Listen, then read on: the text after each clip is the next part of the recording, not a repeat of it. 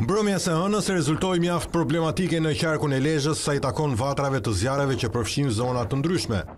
Në lagjen Nënë Tereza, flakët të favorizuara edhe nga era janë afruar shumë banesave.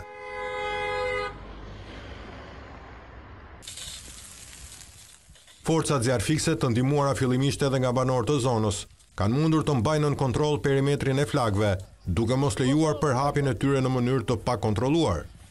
Thuajse paralelisht me këtë vatër zjarri, dy të tjera përfshinë zona me shkurre në fshatin Markatomaj dhe në fshatin Piraj.